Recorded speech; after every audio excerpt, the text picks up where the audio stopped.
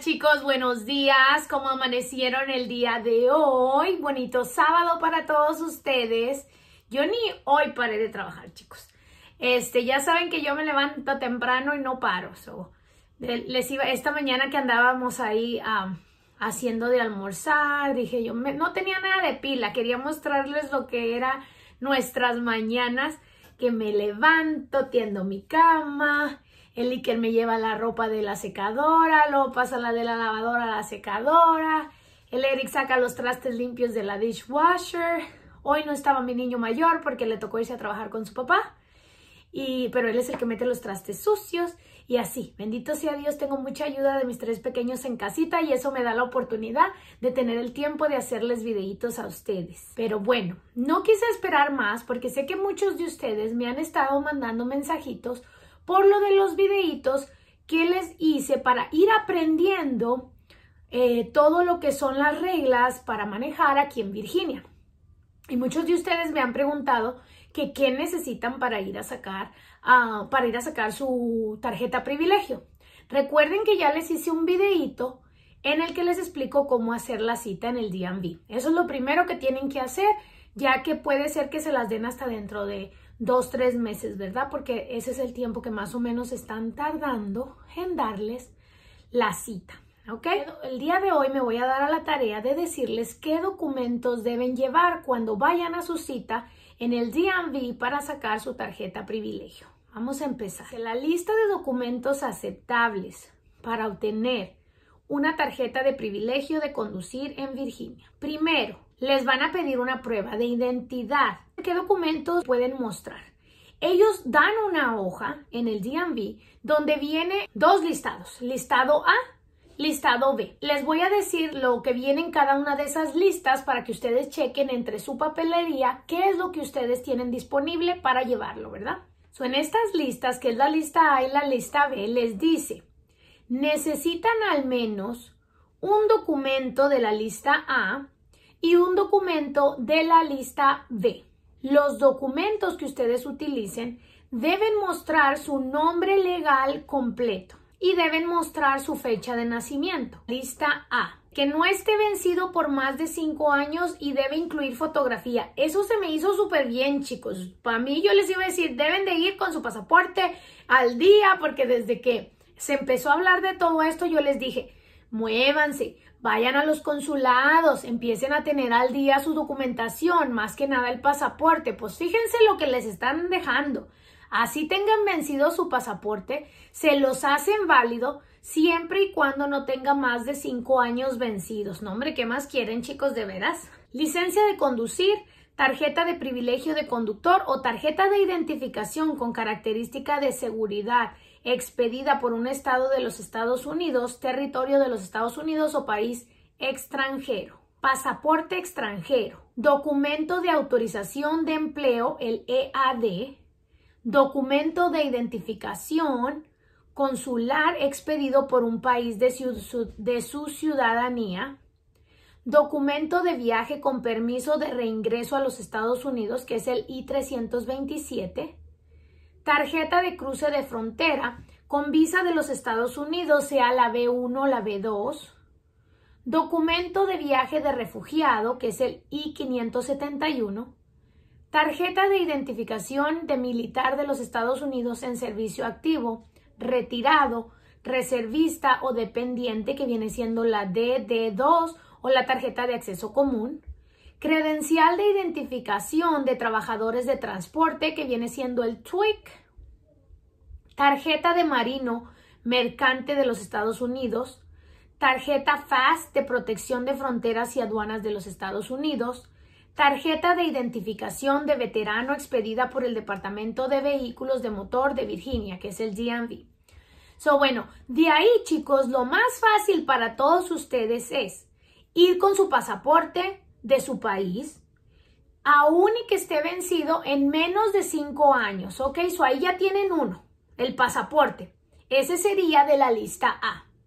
Ahora, en la lista B, carta de asignación del número de identificación tributaria individual que viene siendo el número ITIN. Cuando nosotros hacemos taxas, Cuando es la primera vez que tú haces taxas y no tienes un número de social, la persona que te hace las taxas pide un número ITIN al IRS para que te dejen hacer tus taxas por no tener número de social, ¿verdad? Cuando ellos te aprueban, te envían una carta del IRS diciendo con tu nombre, tu dirección y te dice tu número ITIN. Te dice, aquí está, ese es tu número con el que tú vas a poder hacer tus taxas con el IRS. Esa carta se las he mencionado en lo del sobre que les digo donde debemos de tener nuestros documentos importantes. Esa es muy importante que la tengan guardadita, limpiecita y bien estiradita, nada que por ahí ande rodando, chicos. O sea, esa es una de las cosas importantes. Esa es la que necesitarían para ir al DMV. So, recuerden, ya tienen en mano pasaporte. No importa que esté vencido siempre y cuando no sea, no esté vencido por más de cinco años. La lista B les menciona la carta de identificación um, tributaria individual. Recuerden que es la carta que les envía el IRS con su número ITIN. Otra, otra de las válidas es la acta de nacimiento oficial expedida por un país extranjero. Esto quiere decir que será válida su acta de nacimiento, ya sea que si son de México, de Guatemala, de El Salvador, de donde ustedes sean. Ojo, con esta cuando ustedes muestran la acta de nacimiento de su país, ustedes van a tener que llevarla a un lugar a que se las traduzcan a inglés. Si ustedes muestran lo de la, carta del número ITIN, no van a tener ningún problema porque esa carta viene en inglés. Pero si ustedes muestran su acta de nacimiento, les va a tocar llevarlas a que se las traduzcan. Ellos la van a poner un sello y les van a, le van a la otra encima y eso las va a hacer que sea válida en el DMV. Dice acta de nacimiento tribal oficial expedida por una tribu reconocida federalmente o por el estado de Virginia. Tarjeta de identidad tribal con fotografía en vigencia o tarjeta de identidad de inscripción tribal expendida por una tribu nativa. Sentencia de divorcio certificada por la autoridad gubernamental emisora. Entonces, si ustedes se divorciaron aquí en los Estados Unidos y tienen esa hoja, también les puede servir para que sea válida ah, para mostrar su identidad. Resolución judicial de adopción, cambio de nombre o de género debe contener el sello del tribunal. Copia certificada de registros escolares o certificados analíticos expedidos por una escuela acreditada por un estado jurisdicción o territorio de los Estados Unidos. Dice que no aceptan el boletín de calificaciones. Tarjeta de servicio selectivo de los Estados Unidos, que viene siendo el formulario DD214 o el DD256, que es el del militar de los Estados Unidos. Tarjeta de identificación de la Administración o veteranos con fotografía. Resumen de beneficios de la Administración de Seguridad Social con nombre y fecha de nacimiento tarjeta de seguro social. Recuerden que hay muchas personas que quizá ya tienen muchos años acá y lograron llegar a tener un número de seguro social, aunque no estén legalmente, ¿verdad? Porque en ciertos años hubo oportunidad de recibir eso. So, esta es válida para presentar su ah, identidad. Permiso de armas en vigencia, incluidos permisos de portación oculta emitidos por un gobierno federal, estatal o municipal. Tarjeta de identificación electoral federal con foto. Formulario I-797 del UCIS, que viene siendo el Servicio de Ciudadanía e Inmigración de los Estados Unidos. Tarjeta de identificación del empleado del gobierno, que puede ser estatal, federal o local, siempre y cuando tenga fotografía. Formulario de información de infractor federal, estatal o local. Tarjeta de seguro médico o documentación de cobertura de seguro médico o elegibilidad que contenga un número de identificación de seguro, incluyendo una tarjeta de Medicaid o Medicare. So, esos son todos los de la lista B que ustedes pueden mostrar. Recuerden que necesitan un documento de la lista A y un documento de la lista B. Para mí leyendo todo esto, lo que se me hace más fácil es que ustedes tengan el pasaporte de su país siempre y cuando no esté vencido por más de cinco años y de la lista B que tengan la carta del IRS donde viene su número ITIN. Si ustedes no tienen esta carta, lo otro sería tener su acta de nacimiento de su país y ir a que se la traduzca. Y ya quedaron, ya tienen ahí los dos documentos, uno de la A y uno de la B. Ahora, lo otro que tienen que hacer es ah, mostrar residencia. Ahora, ¿cómo van a mostrar su residencia en Virginia? So, les van a pedir dos pruebas de residencia y les dan otra vez dos listados, listado primario y listado secundario. Ustedes pueden, ustedes pueden mostrar dos de la lista primaria o pueden mostrar uno de la lista primaria y uno de la lista secundaria. Les voy a mencionar todo lo que está en la lista primaria y todo lo que está en la lista secundaria, ¿ok? Para que ustedes decidan cuál de esos documentos ustedes tienen para demostrar que viven aquí en Virginia. Dice, los solicitantes menores de 19 años de edad pueden tener la certificación de uno de sus padres o tutor legal de su residencia en Virginia. El padre, la madre o el tutor legal deben presentarse personalmente con el solicitante y mostrar una prueba de identificación y dos pruebas de residencia en Virginia de la lista de residencias. Eso está hablando para los menores de 19 años, les está diciendo que sus padres van a tener que ir y mostrar esta documentación también, ¿ok? Los documentos primarios de residencia para Virginia. Pueden ser las escrituras, la hipoteca, la declaración mensual de hipoteca o el contrato de alquiler de una residencia. Eso, es muy fácil, chicos. Para todos los que están rentando un apartamento, están rentando una casa, lo que estén rentando, tienen un documento que es el contrato, que en la área de arriba dice lease.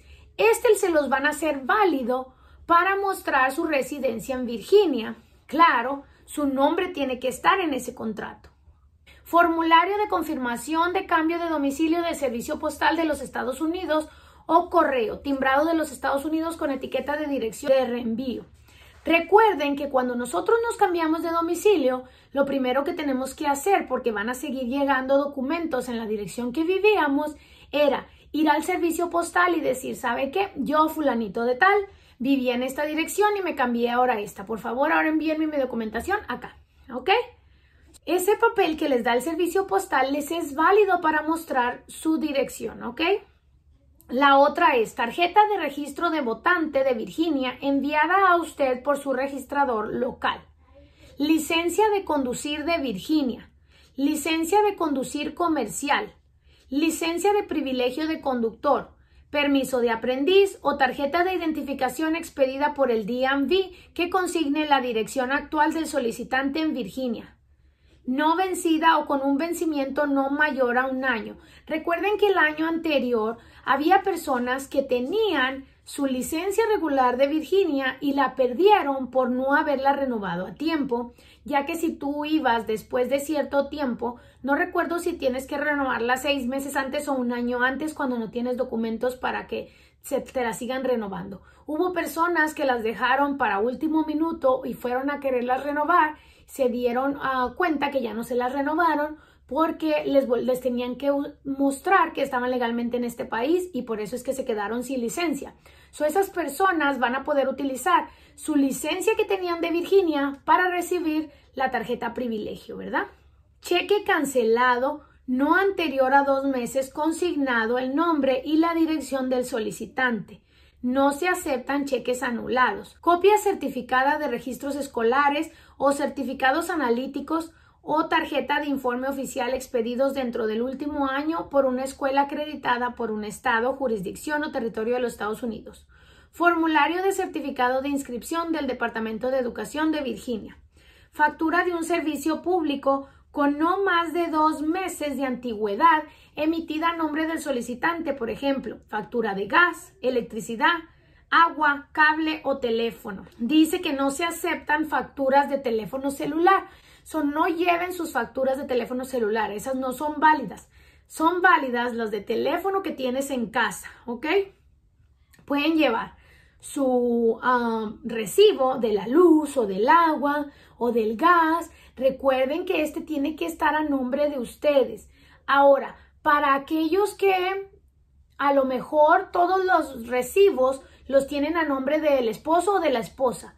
En esos recibos pueden agregar a su pareja para que en el siguiente recibo ya les llegue el nombre de ellos agregado. Por ejemplo, si ustedes tienen el recibo de la luz a nombre, por ejemplo, yo mío. Entonces, todos los biles estaban, todos los recibos estaban a mi nombre. Entonces, mi esposo no tenía alguno que mostrar a nombre de él. ¿Qué pasa? Yo tengo que hablar al recibo de la luz y decir, ¿sabe qué? Quiero agregar el nombre de mi esposo al, recibo y dicen, oh, sí, y lo agregan y ya. Entonces el siguiente recibo te va a llegar con los datos de él y eso le va a servir para mostrar que él vive en este domicilio, ¿verdad? Resumen mensual de cuenta bancaria o tarjeta de crédito con no más de dos meses de antigüedad. So puede llevar lo que es el papel que les llega mes tras mes del banco para mostrar que ustedes viven en la dirección que están mostrando. Ahora, si ustedes son como yo, que todo lo tienen online, es muy fácil como hablar a su banco y pedir que les manden un estado de cuenta. Les va a llegar con la dirección de ustedes y ese van a mostrar, ¿ok?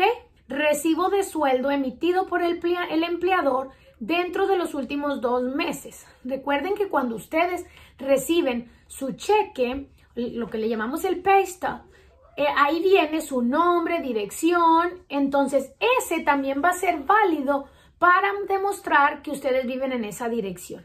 Ahora, fíjense en esto que voy a leerles en un momento. Dice, formulario W2 de informe tributario del Servicio de Impuestos Internos de los Estados Unidos o el formulario 1099 con no más de 18 meses de antigüedad.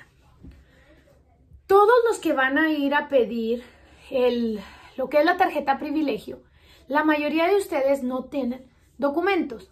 Entonces, cuando ustedes reciben la W2 o la 1099, ¿qué numerito viene escrito ahí? Un número que ustedes no quieren que nadie lo vea. Entonces, no les sugiero que lleven el W2 o el 1099 al DMV. ¿Por qué? Porque va a crear conmoción ahí, porque van a decir, ¿y este número que te aparece aquí en el número de social? Entonces, por favor, busquen alguna de las otras maneras para demostrar su residencia o su, lugar de donde viven. No utilicen sus W2 o 1099, por favor, ni las lleven al DMV, porque recuerden que en esas, cuando ustedes hacen sus taxas con su número ITIN, esa documentación, la W2 y la 1099, trae otro número, chicos. Número que no necesitan enseñar en el DMV, ¿ok? O escuchen bien, porfa. Bueno, dice recibo de impuestos a los bienes personales o impuesto inmobiliario, inmobiliario pagado dentro del último año al estado de Virginia o a un municipio de Virginia. Recuerden que cada año nosotros pagamos taxes de si tenemos una traila, si tenemos un carro, si tienes una camioneta, si le pagas lo que son tus taxas personales de tus ah, bienes personales, de tu impuesto inmobiliario, ¿verdad? Eso también es válido para demostrar que vives en ese lugar, ya que ese viene con tu nombre y viene tu dirección. So, ese también es válido. So, son cosas bien simples, chicos, que, que tenemos en nuestro día a día. Yo la verdad no le veo nada difícil a lo que están pidiendo. So, ánimo, Declaración anual de seguridad social para el año calendario actual o anterior. Póliza o factura actual de seguro de propietarios de inmuebles.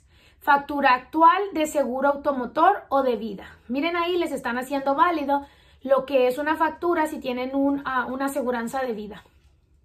Factura médica o dental emitida dentro de los últimos dos meses.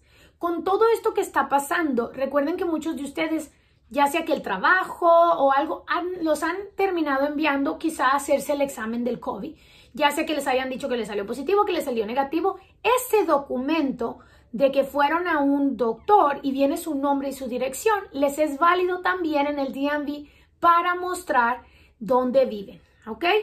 O cualquier documento de que hayan ido a un hospital, quizá les llegó el bill, no importa si lo pagaron o no le pagaron, ese bill o ese recibo es válido para que ustedes demuestren la dirección donde ustedes viven, ¿ok?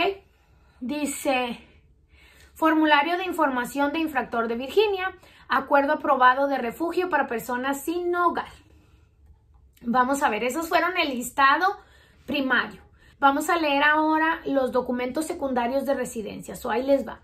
Dice, correo timbrado que consigne el nombre y la dirección actual de solicitante. ¿Qué es eso?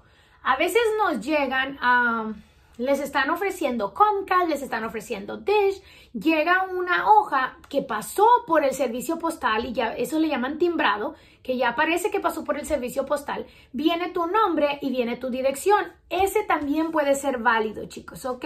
Correspondencia oficial de un organismo gubernamental, federal, estatal o local consignando el nombre y la dirección actual del solicitante. Dice, no se aceptan documentos emitidos por el DMV sin sobres timbrados.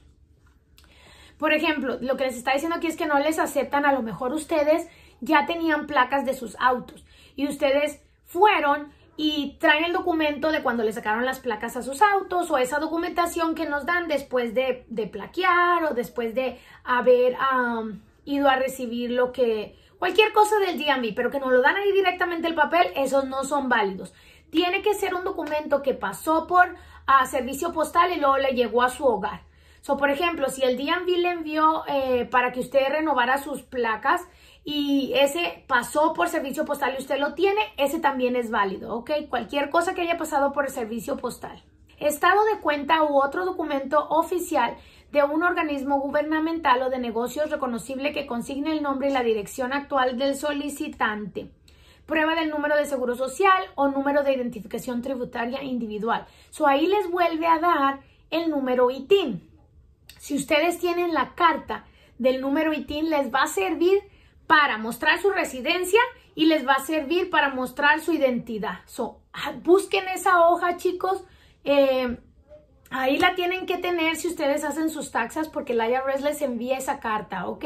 Tarjeta de seguridad social. Carta de número de identificación tributaria ITIN. Bueno, ya fue lo que les dije. Formulario W2. Ya les dije que no enseñen el W2, chicos. Recibo de sueldo emitido por el empleador que contenga el número completo de seguro social o el número de identificación tributaria individual. El formulario SSA 1099 y el formulario NOSSA 1099. Prueba de informe de ingresos o y deducciones de fuentes de Virginia, que son las taxas, chicos.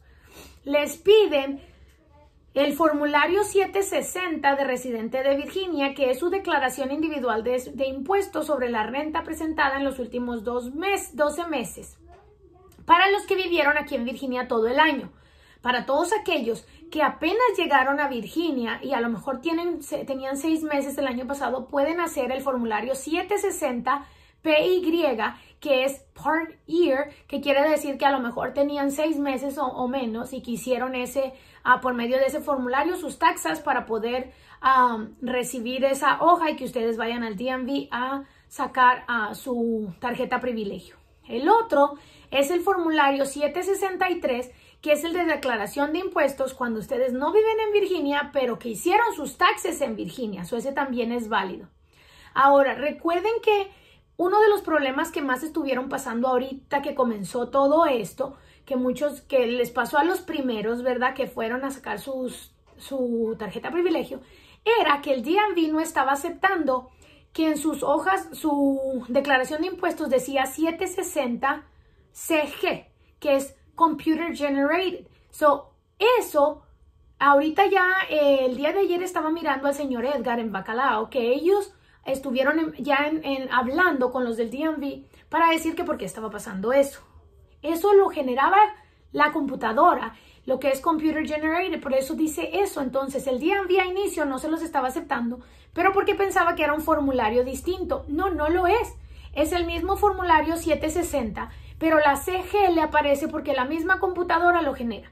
So, si a ustedes no les están aceptando el formulario 760 porque le ven que diga CG, pida hablar con la persona que está ahí de manager en el DMV, díganle que esa CG no es que sea un formulario diferente, que es que la computadora genera eso, esas dos iniciales ahí y se los van a hacer válidos, chicos, ¿ok? Creo que ya ahorita ya no está pasando ese problema. El DMV ha estado comunicando que todos los de, um, todo su, su personal está recibiendo nuevas clases en las que se le está informando cómo... Uh, cómo son todos estos documentos que van a poder aceptar, ¿ok? So, bueno chicos, ahí está. Recuerden que de esto necesitan una prueba de los documentos de la, de la lista primaria o y una prueba de la de documentos de la lista secundaria o dos pruebas de la lista de documentos primarios. Lo veo muy fácil también. siempre y cuando ustedes hagan sus taxas, no van a tener ningún problema. llevan eso de las taxes llevan lo que es, recuerden que les están pidiendo un año de taxes, es lo único que les están pidiendo. So recuerden, de los de todo lo que les dije ahorita en los listados. Necesitan uno de un documento de la lista A, un documento de la lista B. Un documento, esos son para demostrar su identidad. Y de lo que son de la lista primaria necesitan uno y de la lista secundaria necesitan uno o pueden mostrar dos documentos de la lista primaria de todos los que les di ahorita para mostrar lo que es su residencia en Virginia. Ya es todo lo que tienen que llevar, chicos, para todas aquellas que preguntan, Teresa, yo no hago taxas, me dicen, pero mi esposo sí. Hacen taxas ustedes, chicas, porque están reclamadas como una dependiente. Esas taxas les van a servir a ustedes, ¿ok? Siempre y cuando su nombre esté ahí, tengan número y TIN, porque para que las pongan como dependientes, les tuvieron que haber pedido un número y TIN. Busquen esa cartita del IRS donde viene lo que es su nombre y su número y TIN que les va a servir como dos documentos para mostrar, para recibir su tarjeta privilegio, ¿ok? Ahora, otra cosa que les quiero sugerir o dar el consejo. Este realmente es un privilegio, esta tarjeta. No lo echemos a perder. Eh, los del DMV están en la mejor disposición de ayudar. Es un poco estresante para ellos cuando a lo mejor ustedes van y si ustedes no hablan nada de inglés, traten de llevar a alguien que sí lo hable para que les pueda ayudar y todo esto se pueda mover más fácilmente, ¿verdad? me tocó mirar cuando yo fui a traducir una persona que es como que le estaba traduciendo a otra persona ahí. Yo sé que a veces muchos de ustedes, por decir, para no hacer el gasto, le piden a personas conocidas que les ayuden traduciendo. Créanme que aunque tengan que pagar en esa ocasión para recibir su, su tarjeta privilegio, es preferible para que no vayan a cometer un error cuando estén ahí, ¿ok? porque me tocó ver que esta persona estaba traduciendo y realmente todo lo que le estaban diciendo yo me daba cuenta que no entendía todo lo que les estaban diciendo. Se tardaba en contestar, se tardaba en decirle a la persona lo que según estaban diciendo y no le decía todo lo que le estaban diciendo. So, por favor, realmente esta tarjeta privilegio lo es, no lo echemos a perder no importa que tengan que hacer un gasto, lleven a una persona que realmente entienda eh, el, el, idioma del inglés para que no tengan ningún problema al estar haciendo este trámite, ¿ok? Bueno, chicos, espero que esta información que les brindé el día de hoy les, les quite un poco las dudas que tienen para ir a, lo de, a sacar su tarjeta privilegio.